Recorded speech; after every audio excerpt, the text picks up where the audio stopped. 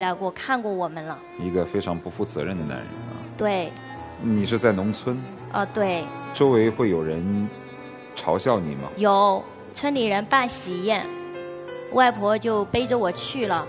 当时每张桌子都挤满了人，唯独我坐的这张桌子只有我和我外婆。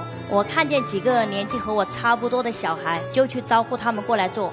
嗯有一个小孩刚刚走过来，就被他妈妈拉到了一边，大骂了一顿，说：“你不能和他玩，他的病是会传染人的。”都把我当作怪物一样看待。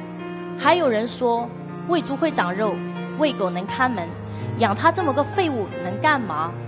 从此我再也不愿意去人多的地方，就在家里待着，哪儿也不愿意去。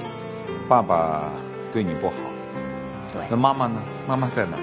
呃，妈妈因为要维持我们一家的生活，我还有一个妹妹，所以一直在外面打工。到我病情最严重的时候，我妈妈回来了，带我去我们呃那个当地的比较大的医院去确诊了。